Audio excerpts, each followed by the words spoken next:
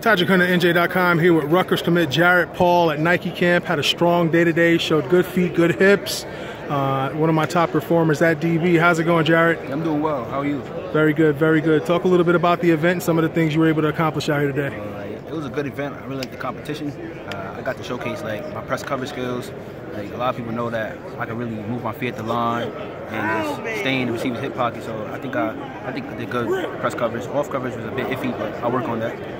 Anything that you sort of surprised yourself with as far as your ability out here today? Um, not really. I, I, wanted to get my hands on, on, more passes. Like there were a few passes that I could have got my hands on that I, I didn't. So I just want to work on that. And I know you've obviously already committed. You put that behind you. You're not having to worry about any recruitment or anything. But I know you talked about um, recruiting guys to Rutgers uh, yes. to come play with you. Who are some of the guys that you've kind of been in contact with? It's a lot. I've been talking to Paul Woods. I'm real close with him and his dad. Uh, I tried talking to Maya Anderson. I got to talk to more guys like Lucas Nunez, Cardinal Hayes. Um, there's more kids.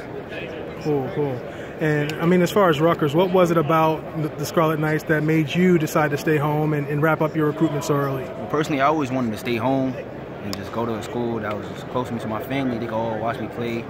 Like it's like 40 minutes away from where I live. So, and also I just like how Coach Ash. He was really he works really well with DB since he's like a DB coach.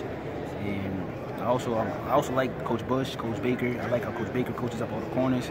And it's just that I've been talking like the players. I got to get an insight on the program when you talk to the players. So basically, you talk to the coaches and they're recruiting you.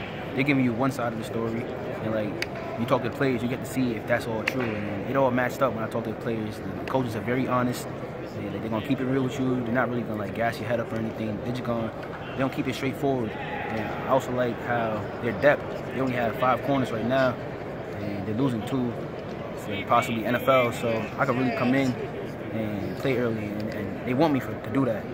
Okay, and okay. Lastly, I just like the scheme. All they do is press, so that's my best attribute.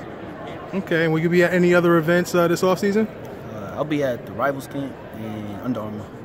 All right, Jarrett. Well, thanks for your time. This is Todderick Hunt, NJ.com.